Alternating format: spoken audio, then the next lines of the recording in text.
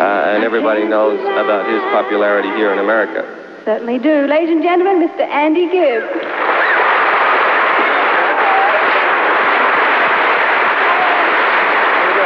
Thanks, Olivia. Hi, Rick. Do you think you guys could have wore something a little bit more colorful?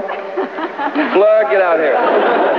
I think it's great that Australian artists are getting so much recognition tonight. My brothers were in London, so they send us this message.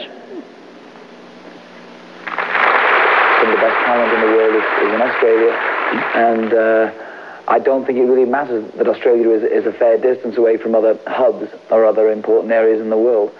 People will notice, and the music will come out, and there will be a time when Australia will probably be amongst the leaders in the music scene. Obviously, there is some talent over in Australia now waiting Yeah. just to, to break free. But there's a group that I, I heard first time that I knew would do and that was Air Supply.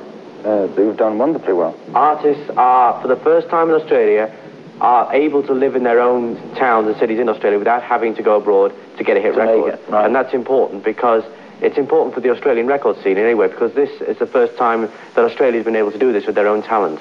You get over to an Australian audience and they consider themselves entertained by you, you can virtually get over any audience in the world.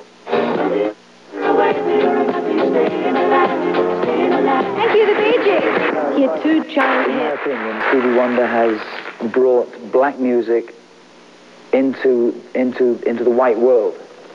If you, if, if uh, anyone can uh, really know what that means to a to a white musician, they know what it means. It's sort of uh, he he uh, he brought much more soul into uh, white music, and his genius and his songs um, are truly amazing. I mean. Um, the grooves, which had never been heard before. I mean, the, the kind of uh, backtracks that he was putting down and the kind of songs that he was writing.